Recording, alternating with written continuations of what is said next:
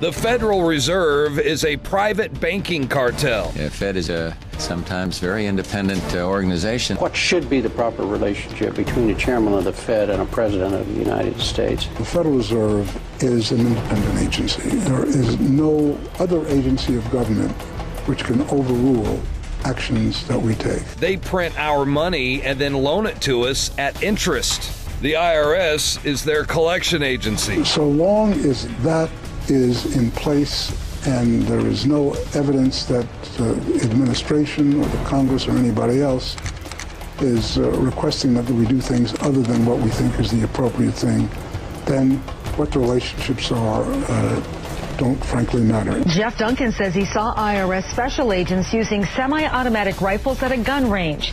Now he wants answers to why the agency needs that type of firepower. Is this global governance at last? Is it one world? The central bankers in charge? Know your history, and you will know your enemy.